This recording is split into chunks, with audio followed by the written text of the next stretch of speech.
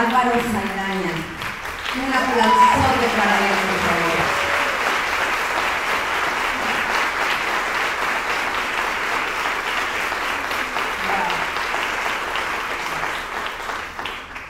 Ay, ¿qué les puedo decir el día de hoy? Gracias por estar aquí. Verdaderamente nunca pensé que ser lectores fuera un deporte de alto riesgo. Lo que hoy tuvieron que pasar para llegar aquí, de verdad, lo valoro, me lo quedo en el corazón enormemente. Gracias. Quien sigue mis Tanatotips se habrá dado cuenta que Álvaro, este extraordinario músico y compositor, es el de la música original. Y quisimos darles este regalo. ¿Quién me iba a decir que nos iba a regresar a todos el alma al cuerpo? Porque sí, el hombre es capaz de tirar piedras y romper vidrios, pero también es capaz de hacer esto. Y yo con esto me quedo. Si no, ¿cómo vengo a convencerlos de vivir?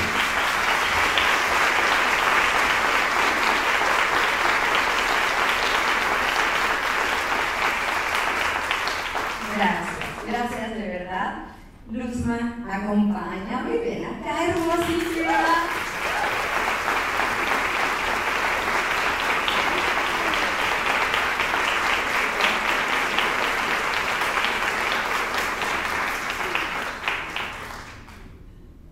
Muy buenas noches. La libramos. ¿Cómo le hicieron para ser tan puntual? ¡Qué bárbaro! Gracias, un placer, de verdad. Buenas noches. Qué tarde tan hermosa, ¿no? Porque muchas veces nos fijamos en qué onda con la gente, qué onda con las manifestaciones, qué horror, qué tráfico. Pero yo mientras venía en el tráfico decía, qué nubes, qué cielo. Qué tarde tan qué maravilla que no nos llovió. ¿Y saben de quién lo aprendido? De una mujer que me convence de vivir todos los días.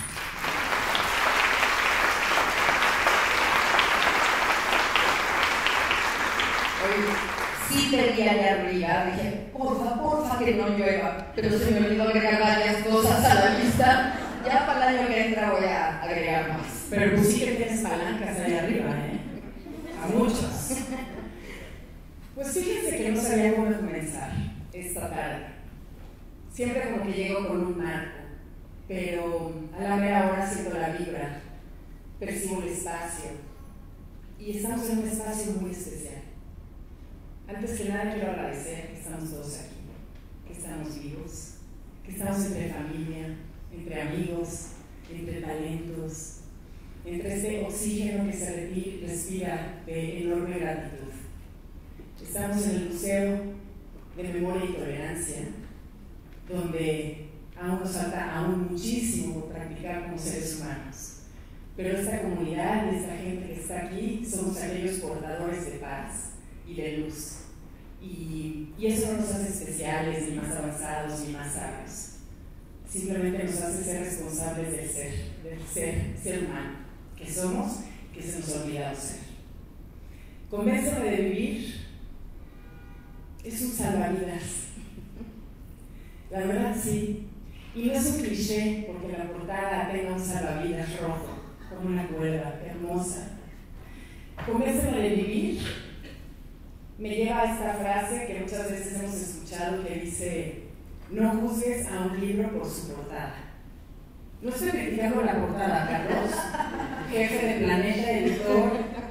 No, no, no, la portada está muy bien, pero, pero cuando miras el libro, cuando lo observas, dices, a ver, pues sí, es una novela que tiene 200 hojas, pero es muchísimo más que eso. Y lo quiero leer porque así me, me inspiré, justamente lo que voy a leer fue, fue lo que me salió del corazón. Este libro no es lo que parece. Y nunca mejor aplicado esta frase, no juzgues a un libro por su portada. Pareciera que es una novela de casi 200 hojas, pero no. Convénceme de vivir es un doctorado de vida es la acumulación de sabiduría, narrada con la voz de una mujer mayor, pero en realidad es el recorrido de una enorme trayectoria de Gaby Pérez Islas que ella ha transcurrido y que hoy nos hereda con una grandísima generosidad, porque imagínense el tiempo invertido en este trabajo. Podemos notar a través de su obra la calidad de escucha que es como terapeuta, sus conclusiones sobre lo que para ella es el sentido de la vida. Extiende su corazón lleno de empatía y compasión y nos envuelve en nuestra esencia humana para que conectemos entre nosotros y nos sensibilicemos sobre el dolor humano. Gaby nos hace ponernos en, la piel arrugada y frágil de una mujer de 81 años. Nos agenda una cita con nuestra propia vejez y nos hace cuestionarnos si estamos siendo lámparas apagadas o encendidas para los demás. Nos enfrenta con nuestra propia vida, invitándonos a practicar la paciencia como un acto dramático, ya que alguien habrá que tener con nosotros esa paciencia en algunos años. Hay que entender la vejez para no padecerla. No es cómoda y siempre es inevitable. La alternativa para no llegar a viejo es peor, estar muerto. Pero hoy venimos a hablar de la vida y venimos a convencernos a todos de vivir. Bienvenidos.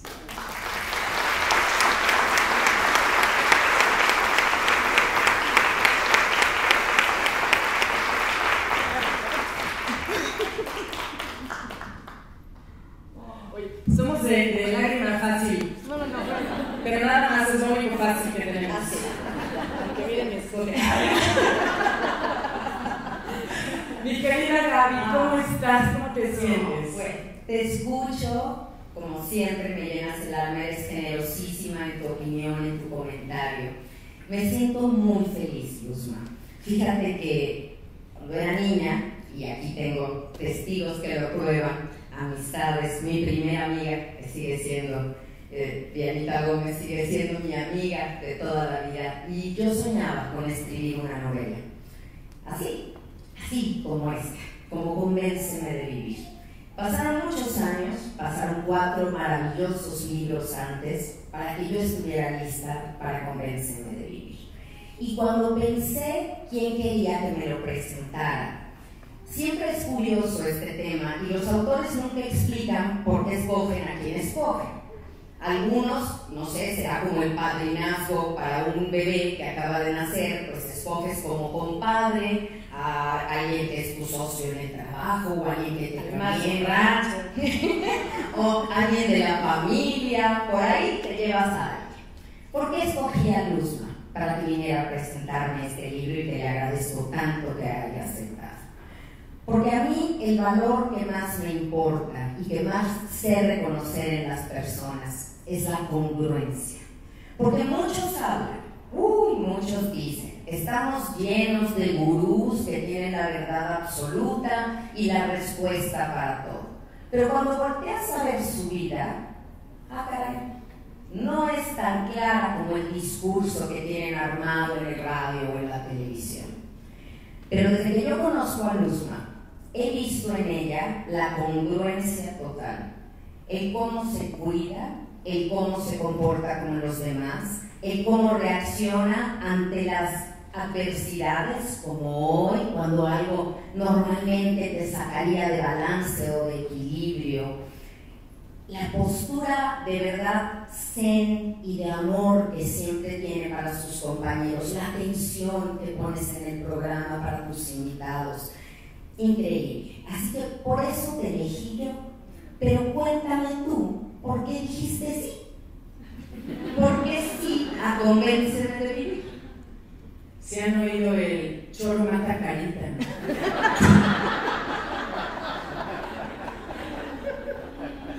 Pues así como no voy a caer, ¿Qué pasa?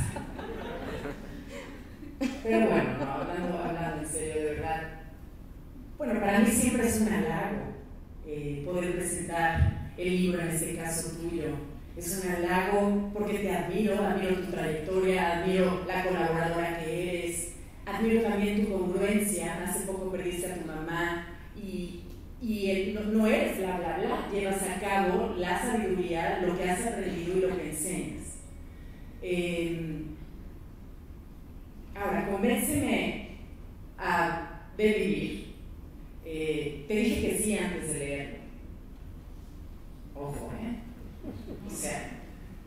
corriste el riesgo. Corrí el riesgo y hagas lo que hagas, yo siempre te quiero apoyar y estar a tu lado porque te admiro muchísimo. Eh, ahora, obviamente es un tema que me toca enormemente. Eh, conozco personas muy cerca de mí que en este momento necesitan convencerse de vivir. Y no estoy hablando de señoras de 81 años que acaban de tener una pérdida de un matrimonio hermoso. Estoy hablando de niñas alrededor de 20 años. He tenido a un hermano en depresión. Eh, he tenido personas cercanas que han tenido pérdidas duras y que se enojan con la vida y que no entienden el sentido de vida. Y, y cuando te piden un consejo de qué hacer y cómo moverte, lo único que podemos hacer humildemente es acercarnos y acercarlos a las personas realmente preparadas que nos puedan acompañar de la mano eh, en estos procesos tan inevitablemente duros que todos iremos viviendo poco a poco. Mi madre no se convenció de vivir. Mi madre se suicidó cuando ella tenía 33 años. Y yo siempre pensé, ¿y si, y si yo hubiera sido la persona que soy hoy? ¿La hubiera podido convencer a vivir? ¿Que no se quitara la vida? ¿Te lo contesto? Mira, mi Luzma, eh, es generosísimo de tu parte compartirnos esto. Y yo creo que cuando alguien toma la decisión equivocada, pero toma la decisión de irse, es que ya no quiere vivir de la manera como lo está haciendo. Y eso tiene que ver mucho más con la persona misma que con los demás. No es que ustedes no hayan sido suficiente para que ella quisiera quedarse, es que ella de veras pensó que ustedes iban a estar mejor sin ella. Fue un error, pero amor no faltó en esta ecuación. Y no falta en los hogares de ustedes, en otros casos donde se repite eso. No falta, no es un tema de amor. A lo mejor es un tema de salud emocional o de salud mental, del cual todos somos responsables. Porque luego no tocamos estos temas en casa, ¿no? El tema del suicidio, por ejemplo. Ay, no, ¿cómo voy a hablar esto con mis hijos? Ay, es muy duro. Yo creo que es un tema que hay que poner sobre la mesa y hablarlo. No les da ideas a los jóvenes. Esas ideas ya están ahí. Es hablar, ponerlo en común, tranquilizar el alma y el corazón de muchas personas. Entonces, esa es parte del trabajo que hacemos y que el Grupo Planeta me ha apoyado en llegar a muchas familias y vidas, no para ver en retrospectiva lo que pudimos haber hecho y no hicimos, no, sino lo que estamos haciendo ahora, desde ese amor y desde ese aprendizaje. Mi mamá, la mencionaste, tu mamá, grandes maestras para nosotras, que seguramente, si pudieran vernos, quien me conoce sabe que no creo que nos vean, pero sabe, yo creo que nos oyen. ¿Tú crees que nos oyen? Ok, y yo hablo bien fuerte. Así que yo sé que estarían felices de ver que hoy estamos aquí haciendo este frente común para tocar corazones y para ayudar a muchos más. Porque lo que decías ahorita de estas chicas de 20 años, me pasa, me pasa en consulta, que llegan a sesión y te lo juro que ya se desparraman en la silla, así, carentes de toda energía. Y yo los veo y digo, oye, ¿pero qué te pasa? O sea, no vas a usar tu juventud, préstamela. Yo sí la ocupo, yo sí la necesito. ¿Tú qué crees que les está pasando a los jóvenes o a los adultos mayores que se desconectan de la vida? ¿Dónde le pierden el sentido? No sé, yo pienso que a lo mejor, eh, sobre todo los jóvenes, creo que como que la vara está muy alta y alcanzar eh, lo que en redes sociales ellos ven eh, de estas escenas fantásticas de familia o de reuniones o de cuerpazos y de cosas, yo siento que siempre la comparación nos ha hecho mucho daño.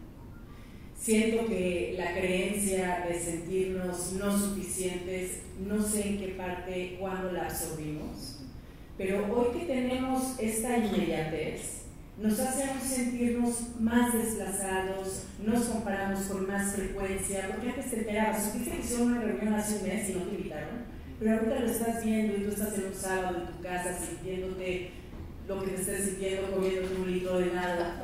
No, el cliché de Señal clara de la depresión. Sí, en los, en los viejos, tú me hiciste reflexionar, hice varias llamadas a muchos viejos que a lo mejor tengo ahí que amo, pero que no frecuento ni siquiera por el teléfono tanto.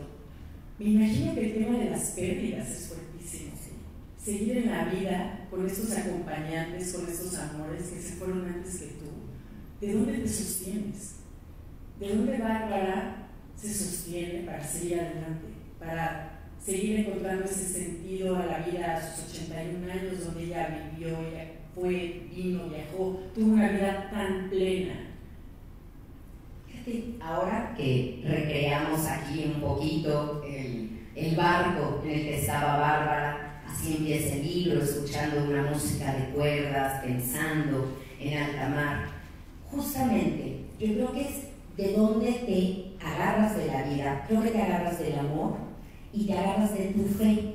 La fe entendida como cada quien la entienda, en un poder superior, en un Dios, en la energía, pero tú solo no puedes. Por eso barandales, porque de repente necesitamos asirnos de ellos. Porque si voy caminando y se pone, híjole, súper turbulenta el agua, ¿cómo hago? ¿Cómo hago mis fuerzas? Y más si soy una persona mayor, a lo mejor mis fuerzas ya no son suficientes.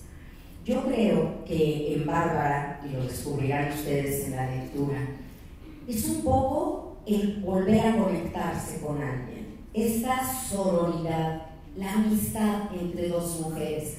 Y voy a conectarlo con lo que decías. ¿En qué momento dejamos de inspirarnos en la amiga para empezar a compararnos. Qué bonito y que usáramos además todas estas redes sociales para ver con gusto genuino lo que logra una amiga, lo que hace, cómo la apoyo, híjole, compartir, pero no, de pronto compites, de pronto te comparas. Y cuando tú crees no estar a la altura o no conseguir lo mismo, te frustras y te enojas. Y el enojo vuelto hacia uno se llama depresión. Tal vez esta depresión como mal, no solo del siglo XX, del XXI, del XXII, o sea, no hemos logrado erradicar este mal, que nos haga ver las cosas sin unos lentes oscuros, híjole, todo muy mal, donde no soy suficiente. Y regresando al libro, y regresando a, a Laura y a Bárbara, estos dos seres que hacen justamente, o se ponen una curita, la herida mayor del ser humano que puede ser la invisibilidad. El no ser visto, el no ser escuchado, el no sentir que eres importante, creo que puede aniquilar a cualquier persona. Y si solamente un ser humano te extiende la mano, con uno, creo que sí hace la diferencia para, para ser ese salvavidas, literal. Totalmente, Luzma, totalmente. Esas redes de apoyo que podemos construir, o de verdad apoyar a alguien, darle tu la mano, ayudarlo. Fíjate, Laura vive, para mí, la peor de todas las soledades, que es la soledad en compañía. Cuando tienes una pareja, pero esa pareja no te ve, no te ve y no existes ante sus ojos, y no sabe qué te gusta, cuáles son tus sueños actuales, a qué le temas, qué hiciste hoy. O sea, a veces se hace un mar, todo un océano de distancia entre dos personas que duermen en la misma cama. Y esa soledad, híjole, sí te parte el alma. La soledad de Bárbara, que ella pensaba la más terrible sin su compañero, Resulta que comparada con la de Laura, a la que todavía Bárbara puede ayudar, no es tan grave. ¿Por qué? Porque Bárbara se cae bien. ¿Ustedes se caen bien? Sí. No, pues qué aguado. A ver, ¿se caen bien? Sí. Eso, eso sí me gusta. Y esa es una de las frases que apunté A ver. que me fascinaron, y lo dice literal a veces en el libro. Amarse y entenderse a una misma es el comienzo de un romance para toda la vida. Ay, porque el vino es hasta después. Aquí estaba bueno el vino del teatro una vez. Qué bonito suena, dicho por ti. Qué bonito también, gracias por escoger esa frase. Pero creo que es muy profunda, o sea, sí, ¿cómo le hacemos para caernos bien cuando tenemos creencias de no ser suficientes? ¿Cómo caernos bien cuando no, no, integramos la sombra, ¿no? esa polaridad que todos tenemos aunque no queramos verla? Sin ni nos queremos volver a ver esa parte donde me dan celos que no qué, no sé, o sea, no, nos da pena los sentimientos que no son positivos. ¿Y quién dijo que no son positivos, no? Porque la verdad no, es, no hay sentimientos malos, es lo que hagas con ellos lo que es malo. Porque hasta la envidia puede ser un sentimiento natural, pero si yo llevado por esa envidia voy y le rayo el coche a alguien, pues el acto no está bien. Pero el sentimiento hay que dejarlo fluir. Siento esto que recorre mi cuerpo y se vaya. Pero caernos bien y sobre todo con las exigencias que tú decías que los jóvenes hoy tienen. Hoy tienen que ser perfectos y además tienen estos modelos de jóvenes que qué bárbaro. O sea, ¿sabes que se hicieron multimillonarios con algo aparentemente sencillo, sin salir de casa, sin haberse puesto un traje nunca, sin tener que ir a la oficina como papá, ni hacer esta fórmula de tu trabaja duro, esfuérzate y luego triunfarás? los chavos de pronto, algunos, triunfan de entrada. Y todos los demás jóvenes dicen, híjole, a mí no me pasa eso. Hay un Mark Zuckerberg, ¿no? Hay Steve Jobs. Pero bueno, tenemos que amarnos, vernos y ser pacientes también con nosotros mismos, como pido en el libro, que lo seamos con las personas mayores. No exigirnos tanto. Hoy fue al programa una, una bárbara, una señora espectacular de 86 años. Y fue porque tomó un curso, ella sigue vendiendo seguros de vida. Y fue al programa porque rompió una tabla. O sea, ¿saben estos, estos mm, eh, cursos donde te hacen que pongas a prueba tu poder mental, ¿no? Rompió una tabla la primera. ¿En serio? Yo la rompí. Me acababa de ir, me hubiera quedado a ver cómo la vi. Pero esta mujer está bárbara, ¿no? Porque hay estas mujeres que son espectaculares, que son estas M's mayúsculas de mujeres, que son las que necesitamos tener siempre a la vista para inspirarnos de ellas, hacerles siempre todas las entrevistas de qué es lo que te sigue aprendiendo de la vida. Y ella contestó, pues cuando yo me levanto, bajo el pie y si está el pie abajo el derecho, pues el izquierdo tiene que seguir, ¿no? Pero yo pienso, y lo que yo leí en ella es eso, que está enamorada de la vida, está enamorada de ella y se cae bien. Oye, Luzma, ¿no crees que parte del problema es que no entendemos la vida? Porque cuando la vida no es lo que nosotros esperábamos, te enojas, te frustras. Pero ¿quién te dijo que la vida iba a ser como tú esperabas? La vida tiene pérdidas, en la vida hay enfermedad, en la vida hay impunidad, hay malos. Sí, quisiera decir que no, pero por supuesto que hay malos. Pero así es la vida. Entenderla bien tal vez te puede mantener más conectado a ella. ¿Cómo, cómo elaborarías esta que me encanta también que pones, el tiempo no pasa, se nos queda puesto? Yo sí o no, David. De pura uy, uy. O sea, el tiempo no pasa, se nos queda puesto. ¡Ándale! A ver, ¿y dónde lo acomodas? ¿Dónde te lo pones? Porque si crees que con el botox o con una respirada te quitas el tiempo, estás muy equivocado. Te puedes planchar tu carita, pero el tiempo sigue ahí. Eres tan viejo como el más viejo de tus órganos. Entonces, si eres alguien que se asolea demasiado y tienes la piel muy arrugada y tu piel es viejita, tienes esa edad de tu piel. Si eres alguien que bebes mucho alcohol y tienes un hígado ya bastante usadito, pues tienes la edad de tu hígado. Entonces hay que cuidarnos de manera integral para que ese tiempo que llevamos puesto no sea como el reloj de Peter Pan cuando escuchaba Garfield ya venía el cocodrilo por él. No quiero que sea un reloj de arena donde se me está acabando el tiempo. Quiero que sea una invitación a vivir. Lo que he aprendido en la vida tiene que servirme para querer seguir en ella. Si no la entiendo así, es que no he entendido la vida. Claro, y, y Bárbara lo dice, ¿no? El, tiempo que ella ha vivido, esas experiencias, la, le recuerdan cuánto ha disfrutado, ¿no? Le recuerdan cuánto gozaba la brisa, cuánto gozaba las cosas simples y gratuitas y se vuelve a reconectar. Porque esas cosas simples y gratuitas siguen ahí, siguen ahí aunque su esposo haya muerto, aunque haya tenido otras pérdidas, pero todavía puede salir al encuentro de otras personas, puede ayudar a otros, tiene familia, quiere seguir en la vida.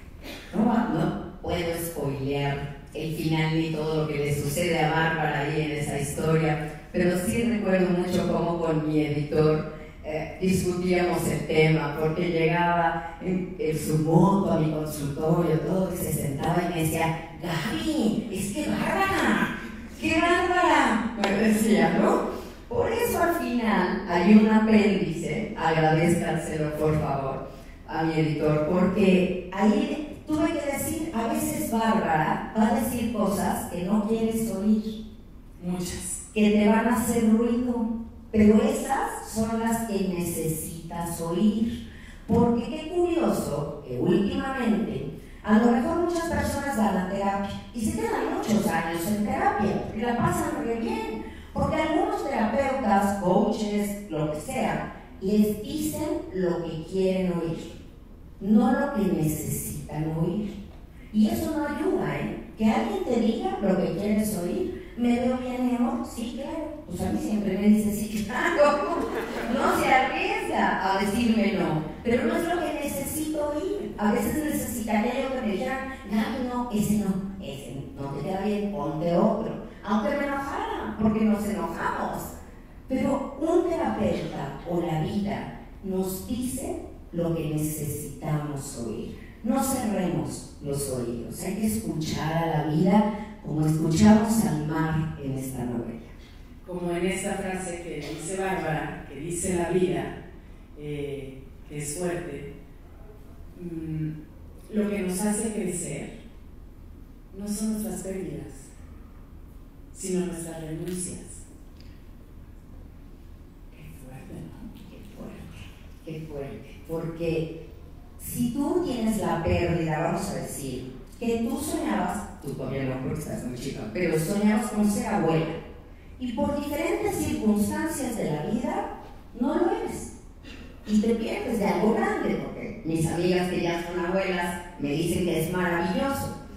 Pero si vives a través de esa pérdida, vives desde la carencia. En cambio, si tú renuncias a ser abuela, y amas todos los otros roles que sí tienes en la vida, creciste con la pérdida y ya no te marcó, ya estás en el aprendizaje y en el sí a la vida. Claro, porque aparte muchísimas pérdidas no son elección nuestras. Es la misma vida dándote ciertas lecciones, no con mala gana. Pero algo si tú decides lo aprenderás y lo evolucionarás. Pero las renuncias, esas sí son voluntarias. Yo siempre creo que las lecciones que te trae una pérdida, te las deja aquí. Tú si quieres, la tomas o no, porque ese es el libre albedrío. Te pueden pasar cosas terribles y tú no aprender nada de ellas. Y tienes la libertad de que así sea. O puede pasarte algo y decides extraer significado y crecer con eso. Tú, en, en ti está. ¿Y qué pasa cuando estás conviviendo con alguien que amas, que tuvo una pérdida? Pero tú como pareja o como amiga tienes ese positivismo, porque te llevas muchísimo con Gaby Pérez. Y llegas y le dices todas esas cosas hermosas que tú dices, pero nada más no sale de ahí. Y, pasan los meses y sigue afianzada de su dolor y de su pérdida y es que la vida me lo quitó y es que me hizo y yo no quiero vivir, ¿Qué se hace cuando tú estás compartiendo o deseando compartir la aprendidez de la vida con alguien que para esa persona ya no sale solo? Que vean nuestro canal 3 todos los días. un anuncio, pero muy, muy, muy Así deben ser las viejas. ¿Qué sale eso?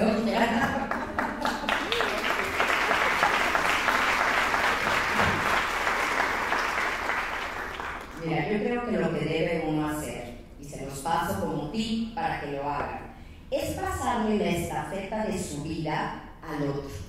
Porque la verdad es que a veces estamos más preocupados nosotros para que el otro esté bien que el otro. El otro ya está porque ya tiene sus ganancias secundarias de estar mal, de estarse quejando. Y tú estás preocupadísimo. ¿Cómo le hago para que mi amigo salga? ¿Qué libro le doy, Gaby? Dime, ¿a qué conferencia lo llevo? ¿Qué hacemos? Yo creo que cuando alguien a quien ya le hemos dado nuestra opinión, alternativa, eh, opciones de qué hacer y no toma ninguna, la próxima vez que llegue y se queje y te diga algo de lo que le está pasando, nuestra respuesta debería de ser, ¿y qué vas a hacer con eso? ¿Cómo? Pues no sé, no había pensado, nada más estoy contando.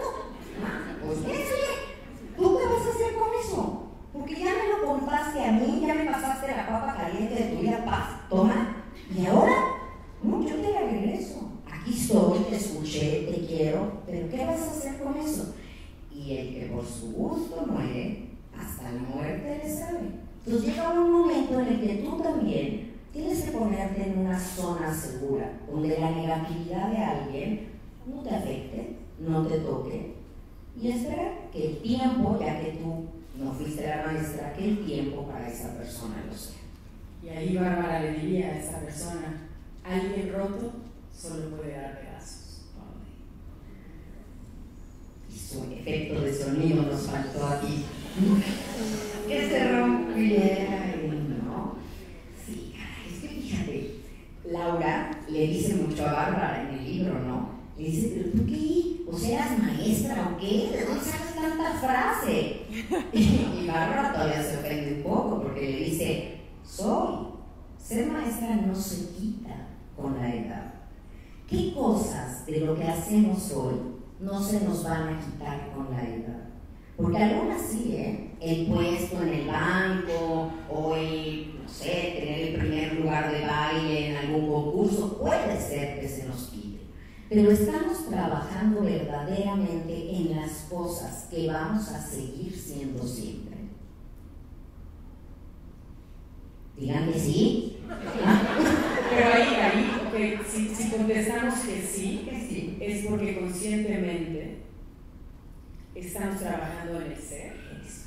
Y aquí es donde viene esta frase. No venía preparada, perdón. Eres una hermosa lectora. Hermosa. mira qué bonita. La conciencia de la finitud puede desencadenar un duelo a contagotas o llevarnos a gozar cada instante con mayor responsabilidad. Sí, mira, yo no quisiera soltarles la mala noticia hacia todos de golpe, pero pues todos nos vamos a morir.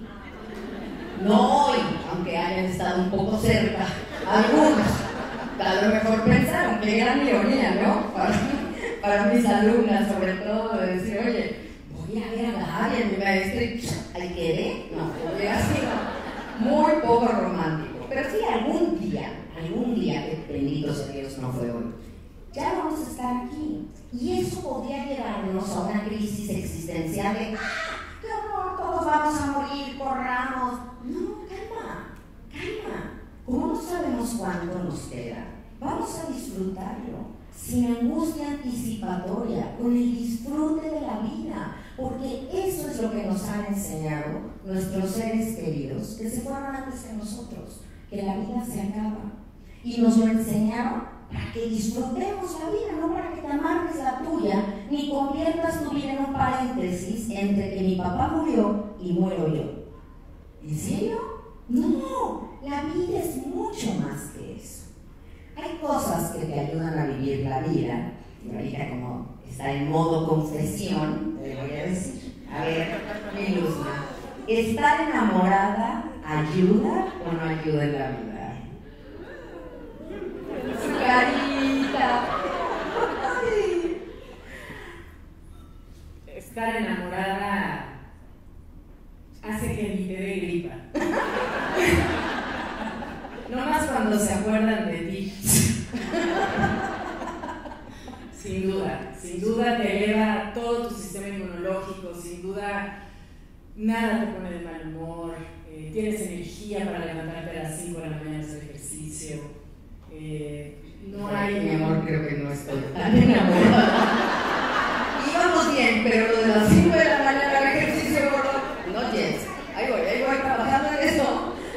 Decía algo menos comprometedor para el resto de las personas. Sí, pones a tu marido en primera fila. en todo. ¿Y qué pasaría, Luzma, si nos enamoramos de la persona que vemos todos los días en el espejo? ¿No, ¿No sería el mismo efecto? Porque no está tan fácil conseguir pareja, ¿no? Si la consiguieron, son unos vertudos maravillosos, pero para quien no, ahí está el espejo esperándonos. Y es peligrosísimo. ¿Cómo? Cuando te enamoras muy cañón, pero muy cañón de ti mismo, esto me lo decía mi maestro espiritual y me encantaba, porque él era así. No es que fuera este hombre súper atractivo y súper platicador, no. Pero él decía, cuando tú en realidad estás completamente enamorado de ti, te vuelves este panal de abejas. Y las abejas solitas llegan a ti. Háganse calladas. De verdad. Y entonces tiene este no sé qué, qué, qué sé yo, que emana, que camina por donde camine y no, no les pasa que no es que sean personas completamente atractivas físicamente, sino que tienen este eh, bliss, lo dice Joseph Campbell también. Bliss, bonito. Este bliss por vivir, estar, y, y no hay un término en español que me guste como para atrás. Marta de baile, no está aquí Marta de baile para que nos diga en español cómo se dice No, estamos aquí sus especialistas, pero, pero ella no. Ella. Gozo por la vida, no sé. Sí, pues el libro lo dice, se llama Kilik.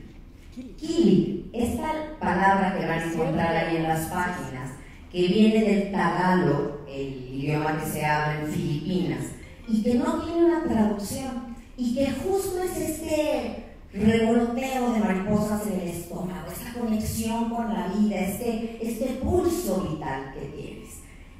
Hay que recuperarlo. A lo mejor alguien ni sabe cómo es porque nunca lo ha tenido, pero no es tarde. Aún hay tiempo y la señora de 86 años que rompe tablas, yo creo que justamente ese es el mensaje. Hay que enamorarnos de la vida. Pero hagamos un ejercicio, o sea, porque luego decimos, a ver, pero ¿cómo le hago para enamorarme de mí? O sea, hay que hacer un ejercicio porque es lo mismo que hacemos con el otro. O sea, entonces imagínate que te quieres enamorar de ti mismo, tú ya lo estás, se te nota. Oye, ¿no? Pero pe- pensemos en una persona que no esté enamorada de sí misma. sí. ¿Qué es lo primero que hace? ¿Qué es lo primero que hace cuando se quiere enamorar de alguien más? Pues te arreglas. Ujú. Para gustarle. Ajá.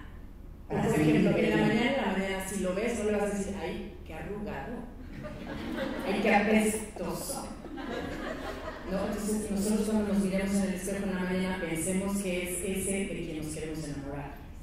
¿Ya ven? Tomen nota. ¿Qué más se nos ocurre? ¿Qué más se nos ocurre? A ver, a mí se me ocurre que en este cortejo y esto, pues hay que coquetearnos, ¿no? Pero a nosotros mismos, no a los demás. Porque miren, a mí sí ya me anda molestando un poco el tema de tanta selfie. En todo- yo veo que todo el mundo sí tiene un enamoramiento consigo mismo y lo pone en redes. Pero no es, no es de verdad. Porque sí pone su fotografía en redes, pero esas cosas horribles en el espejo. Entonces, menos afuera y más adentro. Como apagar allá y encender acá. Entonces, vestirte como tú quieres, comer lo que tú quieres, ¿no sería bueno eso? Yo no me imagino tener una pareja y estarle diciendo todo el tiempo a mi pareja, ay, no comas eso, ay, qué bárbaro, es una vaca, ¿eh? ¿No te vas a tragar todo eso? No. Y en cambio así nos hablamos, así nos hablamos y no podemos esto y es como que no, ya no. Nos privamos de tantos placeres de la vida, de tantos, y no les estoy diciendo que es corta, ¿no? Me acuerdo perfecto una vez que fui, dije, no, ahora sí me voy a poner en forma tengo amigas que me ponen el mal ejemplo dije, ya, voy a bajar de peso, está bien, ¿no? Y cuando me vi ante la posibilidad de no volver a comer lácteos en mi vida, dije, no, espera, está bien. Si ahorita no como lácteos, tal vez pasado mañana ya me los tenga que prohibir el médico porque ya me hacen daño. Pero mientras no me hagan daño, yo voy a seguir comiendo lo que me gusta, con medida en buenas proporciones, ¿no? Digamos, ¿no? No abusar, pero sí a la vida, sí a lo que me gusta, sí a disfrutar y sí a la alegría. ¿Qué es lo más atractivo de una persona? Es esa alegría de vivir. En cambio, quien está muy guapo, pero muy serio, pero muy así en pose, no, a esa no la van a sacar a bailar, como decía mi mami, ¿no? En las fiestas que ella iba, dice que todas las señoritas se ponían así en fila para que pasaran a sacarlas a bailar.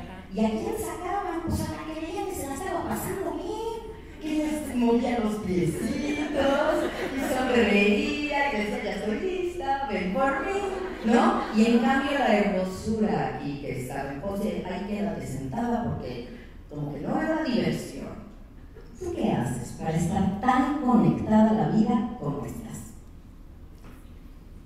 Pues sí, me lo mío. No dijimos que hay que estar enamorados de uno mismo. Eso también es muy importante. Pero ¿qué hago para estar tan conectada con la vida? Eh, escucho mucho y muy seguido mis pensamientos. Ok. Escúchense. Sí, escucho mucho mis pensamientos y y hago cosas que me hacen sentir muy bien. Aunque me, o sea, al principio pues tan trabajo como el ejercicio a las 5 de la mañana, ya que lo repites muchas veces, se siente raro cuando no lo haces. Ok, tal vez algún día lo entienda. no, no sé, yo pienso que... Ayudar al otro. Sin duda, sin duda, y tú lo pones divinamente como el servicio de dar, y antes de que te vayas como hilo de media, como nos gusta, lo pones así y dices, ser, tener, querer, dar, el verbo más importante en la vida de la realización. El sentido de la vida es el amor y el servicio a los demás. La vida no es lo que queremos que sea, es lo que es y tú decides cómo vivir. Un aplauso.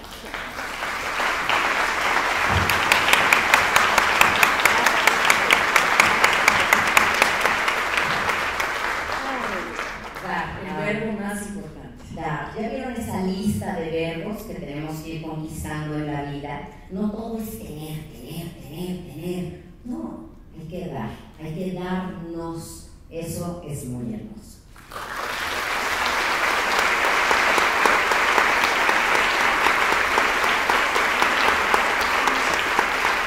Muy. Déjenme. Gracias de verdad. Déjenme. Me voy a sentar aquí. Gracias, que soy. Te digo, el panal, el panal.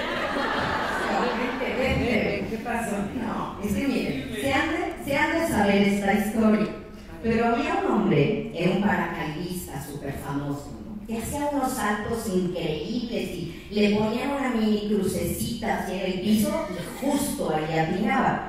No como nuestro desfile del 16 de septiembre. Pero él sí atinaba perfecto ahí todo. Y entonces lo entrevistan y le preguntan, pero ¿cómo puede usted hacerlo tan bien? ¿Cuál es su precisión? Y él contesta muy ufano. Pero de repente llega alguien y le pregunta, ¿usted sabe quién empacó hoy su paracaídas? No. No.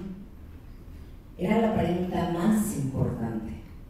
El que te empaca el paracaídas hace que esos saltos sean posibles. Para mí, mi marido, Luis, es quien empaca mi paracaídas desde hace ya casi 30 años, todos los días. Mi hijo Eduardo, que está aquí conmigo, representando a los tres, a Luis Alberto, a Bernardo y a él, empaca mi paracaídas todos los días. Me permite. Ay, gracias. hablo mucho. Rollo mata todo. me permite seguir teniendo los pies en la tierra y no creerme todas estas cosas hermosas que ustedes me dicen, porque el día que me las crea al 100% voy a dejar de servir. Y el día que deje de servir, pues ya no sirvo para nada. Mis amigas, y no voy a decirles, no puedo separar amigas y compañeras de trabajo porque las que están hoy aquí no son compañeras de trabajo, mis amigas, mis amigos de verdad mis alumnas. Híjole, claro que llena, empacan todos los días mi paracaídas. Tengo alumnas que llevan casi siete años conmigo. No tengo cómo pagar el que ellas me sigan viendo como una fuente pues, de inspiración o de conocimiento.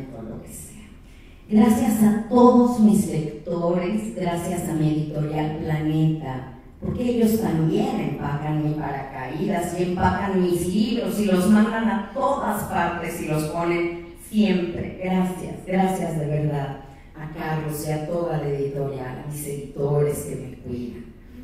Gracias, Luzman, porque tú empacaste mi paracaídas en el momento que dijiste que sí y hoy viste cómo llegabas. A lo mejor hubieras tenido que aterrizar aquí así con paracaídas pero llegaste y llegaste con la luz que siempre emana de ti, que es una cosa preciosa. Gracias. Gracias a todos por estar.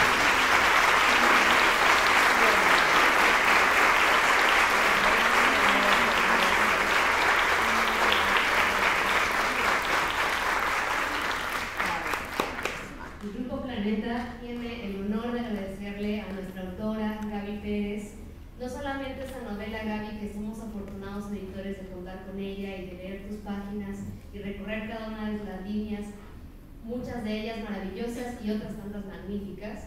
Y no solamente eso, sino felicitarla por sus más de 150 mil ejemplares vendidos de toda la colección de la